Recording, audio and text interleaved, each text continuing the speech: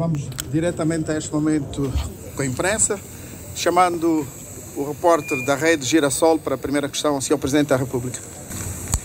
Bom dia, Sr. Presidente da República. Eh, excelência, agora com o funcionamento do Angosat 2, os angolanos podem perspectivar baixos custos de internet, televisão e telefonia móvel? Não penso só no, no custo, penso na qualidade, né?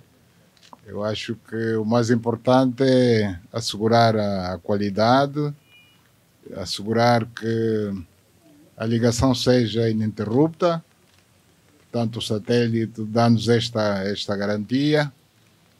Bom, e dizer que com o lançamento deste, deste satélite e a sua entrada em funcionamento, Angola ganha em todos os pontos de vista. Portanto, vamos melhorar as nossas telecomunicações, a comunicação social, portanto, voz e imagem vão melhorar também, vão beneficiar deste importante projeto. A agricultura, a ciência de uma forma geral, a educação. É, portanto, podemos considerar este projeto como determinante para o desenvolvimento da Angola daqui para o futuro. TV Zimbo.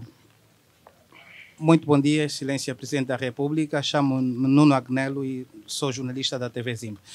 Eh, Senhor Presidente, estando prevista a construção de mais satélites por via eh, do Programa Espacial Nacional, a pergunta que lhe faço é se o país eh, terá capacidade financeira para hum, suportar o custo destes investimentos, que são de grande envergadura, ou se haverá aqui alguma estratégia para hum, a captação de financiamento privado.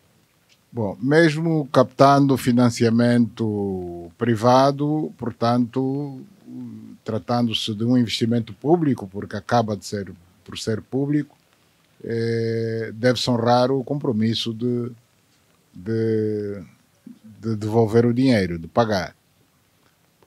A capacidade financeira arranja-se, tudo em função da importância que nós damos ao projeto. Nós consideramos que o projeto é de extrema importância, este centro pode, pode comportar até, até três satélites, portanto, os outros dois vão, vão ter que ser adquiridos ao longo do tempo. Portanto, é uma questão de programação. Se não há capacidade hoje, haverá amanhã. Portanto, o que vale é a intenção de completar o projeto. Ele não está completo e assumimos o compromisso de completá-lo, não importa quanto tempo levar.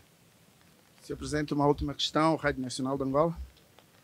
Bom dia, Sr. Presidente. Eu sou Vânia Varela, jornalista da Rádio Nacional de Angola. O setor das telecomunicações é vital para o desenvolvimento de qualquer país. Angola vai continuar a apostar forte neste setor, com outros projetos, ou vamos nos dar por satisfeitos porque já temos o Angosat 2? Bom, as telecomunicações não se limitam ao satélite, né? Portanto, as telecomunicações, eh, para além do satélite, há investimentos a fazer eh, em terra. O satélite está lá em cima.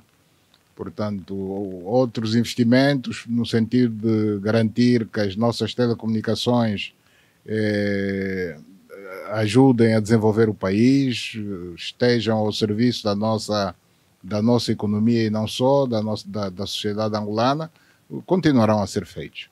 Aliás, foi aqui dito que eh, em termos de, de, fibra ótica, portanto, transmissão por cabo, eh, fez um investimento que hoje já estamos a ligar por cabo Angola com o país vizinho, concretamente a RDC. Então tem que haver uma combinação de fontes de, de transmissão dos sinais, de voz, de imagem, eh, tanto por via, via satélite, via cabo bom, e, e, outras formas de transmissão. Portanto, outros investimentos serão feitos com certeza para garantir a melhor qualidade possível nas, das telecomunicações no nosso país. Muito obrigado, Sr. Presidente, pela sua disponibilidade. Caros colegas, terminamos. Muito obrigado.